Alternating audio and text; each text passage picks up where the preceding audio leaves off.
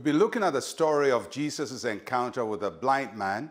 Uh, Jesus went to him and then started uh, to apply uh, a solution to his problem.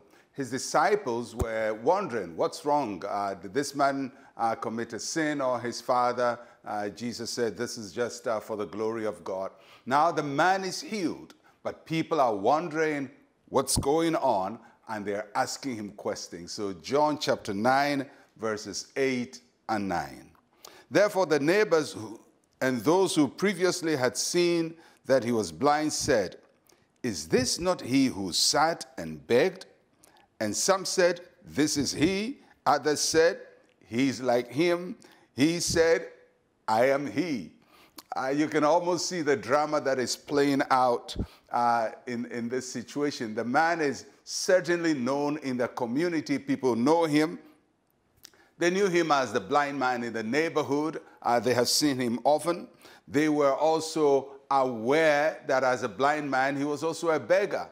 And they have accepted that this was his lot. Uh, he's going to be a blind man forever. He's going to be a beggar forever. But uh, something happens and, and uh, it changes the story. So the community is investigating this story. They're trying to make sense of it, trying to figure out what has happened. So the, the question they ask is Is this not he who sat and begged? Isn't it the person?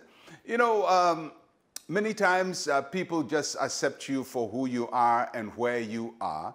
And, and they, they think that if, if this is your situation, this is how your life is going to be forever. You're blind, you're going to be blind forever. You beg, you're going to beg forever.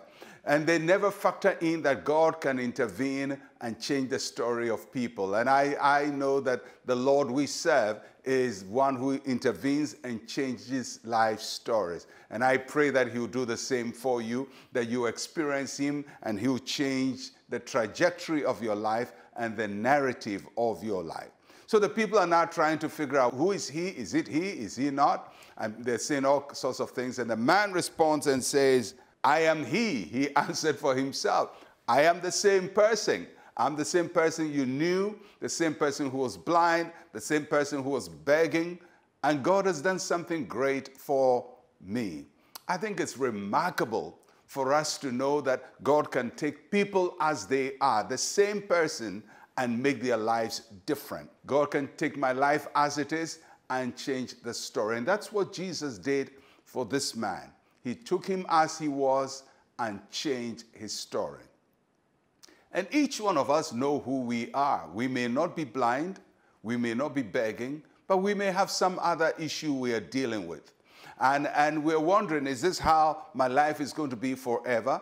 Uh, am I going to be in this situation? Is my life not going to be better or different?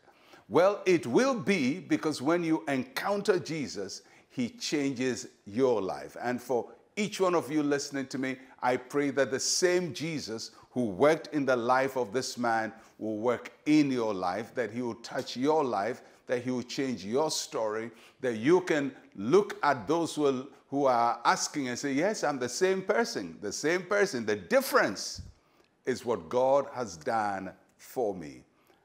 He took me from where I am and he changed my story. And so this man answered for himself, and the questions came to a temporary halt. But we will learn later that the questioning didn't stop because people are still going to try to find out uh, what, what is it, what has happened, because you know miracles are very difficult to accept. But the Lord will do a work in your life, and people may be confused, but you will not be confused about it. You can say, like this man, I am he. Let us pray. Say with me, Heavenly Father, take me as I am and do something unusual with my life. In Jesus' name, amen and amen. Well, I'll catch you again tomorrow. I'm Pastor Mensa Otabil. Shalom, peace, and life to you.